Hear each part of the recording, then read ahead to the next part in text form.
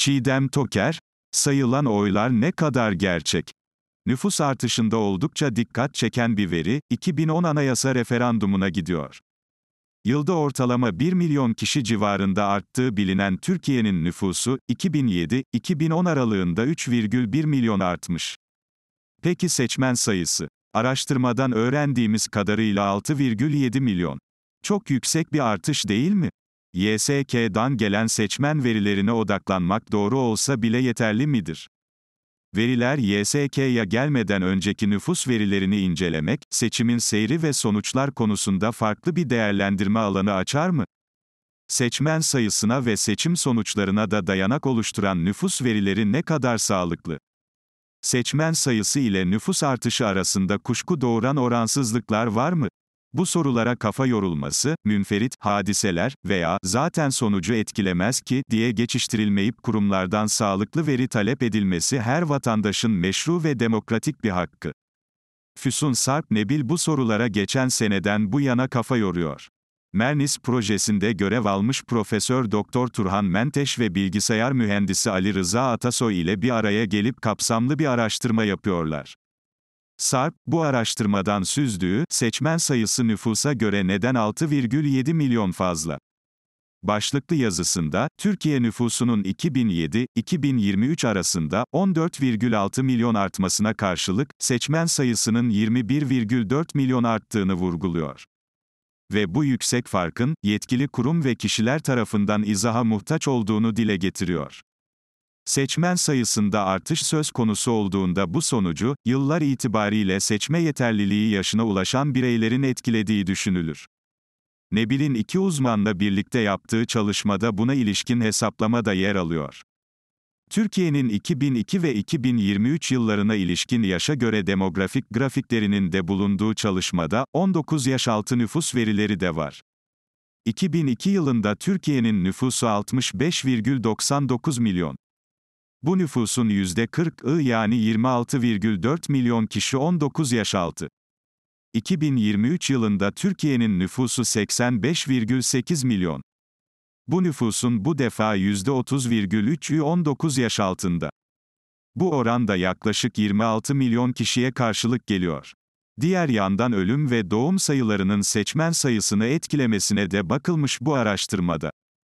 Türkiye'de doğum oranı düşüyor. Bu nedenle seçmene sayısının artmasını sağlayacak bir gelişme bulunmuyor. Nebil buradan hareketle anlayacağınız, gençlerin yaşlanması, ölüm ya da doğum sayılarında, son 16 yılda seçmen sayısını %10,5 arttıracak bir veri yok değerlendirmesini yapıyor. Akıl almaz artış nüfus artışında oldukça dikkat çeken bir veri, 2010 anayasa referandumuna gidiyor. Yılda ortalama 1 milyon kişi civarında arttığı bilinen Türkiye'nin nüfusu, 2007-2010 aralığında 3,1 milyon artmış. Peki seçmen sayısı? Araştırmadan öğrendiğimiz kadarıyla 6,7 milyon. Çok yüksek bir artış değil mi? Gazeteci Murat Ağır elde ölüm verilerine dikkat çekiyor. 2018 yılından 2023 yılına kadar geçen sürede seçmen sayısının 4,7 milyon arttığını belirten Ağırıl, YSK Başkanı'nın açıklamasına göre de 4,9 milyon seçmenin ilk kez oy kullanacağının belirtildiğini aktarıyor. Ağırıl, aynı dönemde ölen seçmenlerin toplama seçmen sayısından düşülmediği kuşkusunu dile getiriyor. TÜİK'ten ve YSK'dan, partilerden bu konularda ayrıntılı açıklamalar yapılması gerekiyor. Ağır dezenformasyon Cumhurbaşkanı Erdoğan'ın Hürriyet yazarı Abdülkadir Selvi'ye rakibi Kılıçdaroğlu hakkında olmayan videoyu varmış gibi söylemesi, akıllara durgunluk vericiydi. İhtimal ki, Erdoğan'ın ama montaj ama şu ama bu, diyerek 14 Mayıs öncesi de gösterilen bu videonun montaj olduğunu teyit eden açıklamasını o an önünde prompter olmamasına, varsa bile dikkatini oraya yöneltme işine. Yani doğal seyrinde cevap vermesine borçluyuz. TRT ekranlarını memleketin bütün vatandaşlarını kapsayan tarafsız, sorumlu bir kamu yayıncısı değil de kendi mikrofonu kendi mecrası olarak görmenin rahatlığı bu. Bundan daha akıl almaz olanı ise söz büyük tepki görünce yapılan, montaj değil gerçek, açıklaması oldu. Uzun lafın kısası seçim yarışının, devletin bütün olanaklarının bir kişinin emrine amade kılındığı bir ortamda geçtiğini hatırdan pek çıkarmamak lazım. Sadece devlet olanakları mı? Normal bir ülkede normal bir seçim atmosferinde bitmeyen İstanbul Finans Merkezi'nin bitmiş gibi, bitmeyen Hatay Defne Hastanesi'nin bitmiş gibi açılmasına o yapıları inşa eden firmaların izin vermemesi gerekirdi. Ama tabii ki burası Finlandiya değil ve tabii ki müteahhitlik şirketleri bitmemiş bir yapının bitmiş gibi gösterilmesine itiraz edemez bitmemiş hastaneyi bitmiş gösteren dar kadrajlı görüntüler, daha sonra gazetecilik yayıncılık yapıyormuş gibi davranan mecralarda gösterilir.